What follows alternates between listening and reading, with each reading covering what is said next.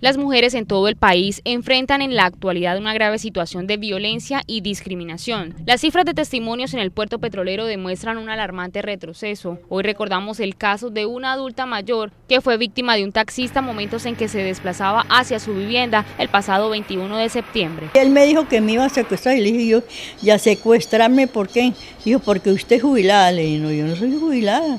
Yo soy una, la mamá de un, de, de un trabajador de Ecopetrol y por eso tengo esos servicios. Así me agarró del cuello, así me metía, me metía, me metía y yo le sacándole, haciendo fuerza para que para no, no quedar allá porque yo me hubiera metido así, ahí quién sabe qué me hubiera hecho. La adulta mayor sufre de algunas enfermedades y por su avanzada edad se le dificulta caminar. Esta condición fue la que, según ella, la hizo vulnerable. Yo le pido a la ciudadanía que pongan alerta porque así como me pasó a mí, le puede pasar a cualquier otra persona de más edad o menos, o una niña que venga ahí tantas niñas que se embarcan en un carro creyendo que uno tiene seguridad. Finalmente el hombre la lanzó del vehículo en este terreno baldío del barrio Yarima. Aunque como estas son muchas las historias que aún existen en Barranca Bermeja, todavía están las que por temor continúan callando.